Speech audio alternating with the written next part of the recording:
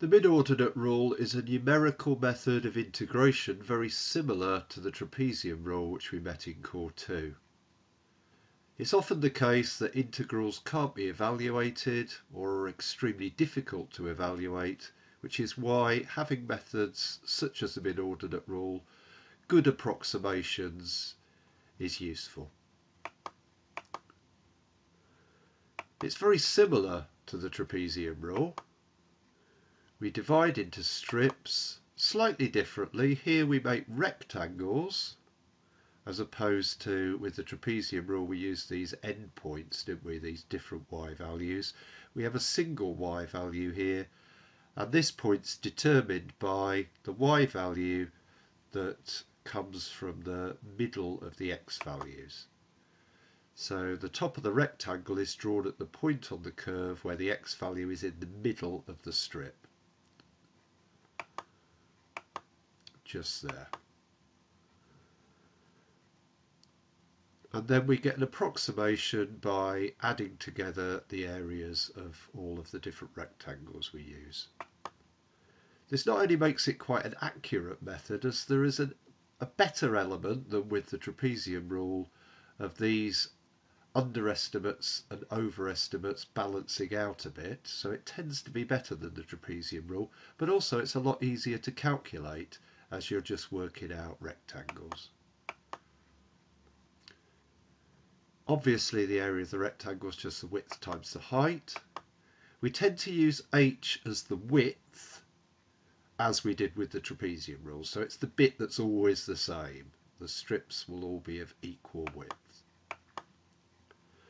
The height is obviously just a y value, so we use that y value and we'll get different y values for each rectangle. So we end up with an area of h times y and a very simple formula. h is always the same, so it's just h times the sum of all the y values. So for example, if we're looking at this definite integral here, we have the curve y equals ln x. We're looking at between 1 and 2, so and with four rectangles. The number of x values is the same as the number of strips or rectangles.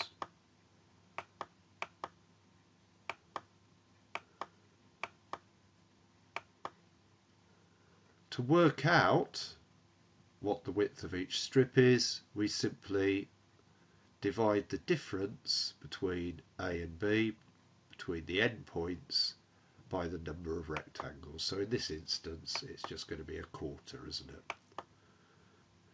This means that our first x value will be in the middle of 1 and 1 and a quarter, which is 1 and an eighth, or 1.125. And then if we just add a quarter each time, we get the other x values. So that's adding a quarter, adding another quarter, adding another quarter. We can then use the calculator to, work out the y values by just putting the natural log of each of these numbers into the calculator. And then in the formula, we simply add them all up and multiply by a quarter. And there's our answer to four decimal places as requested. So to summarise, that's the formula we use. It's in the formula booklet.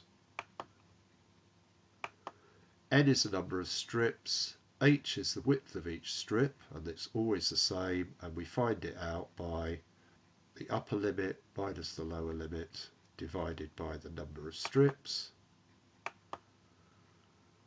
And we get the first value by adding h over 2 to the lower limit. And then we just keep adding whatever h is to find subsequent x values. We can improve our accuracy by increasing the number of rectangles. Okay, have a go at these. As usual, if you're successful, then you're ready to move on. Any problems, then maybe it's worth having a little look back over the presentation and make sure you understand it. Okay, so here's the answers. That's what the first one looks like. We've got width of a half. This is the table of values with the different x values. Put the x values in here to work out the y values and then it's just a half times the sum of them. So we should have got 1.109. And as always, we can improve our answer by using more strips.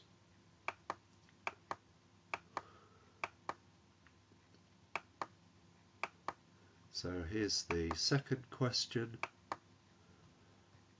So that means pi over 6 will be the first value, and then we're adding pi over 3 each time, aren't we? Put them into here, we get these results, and we end up with 1.57 to three significant figures.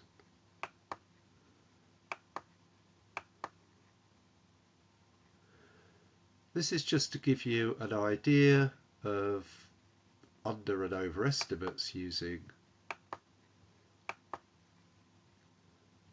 the mid-ordinate rule. You can see here that we've got underestimates because where we've got the blue bits extra the red bit is more. It depends on the shape of the curve, doesn't it?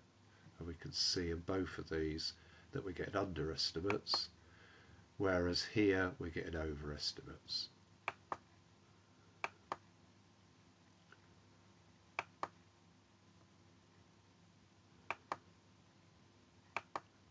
Generally, though, the mid-ordinate rule is a reasonable method of numerical approximations for definite integrals.